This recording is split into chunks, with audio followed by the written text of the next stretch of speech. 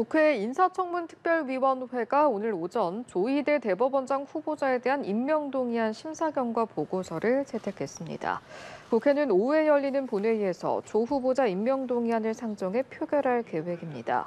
민주당 강선우 대변인은 당 최고위원회의 후 아마 국회 인사청문특위 간사가 당의 인사청문 내용을 보고하고 본회의에 안건이 올라갈 것이라고 설명했습니다.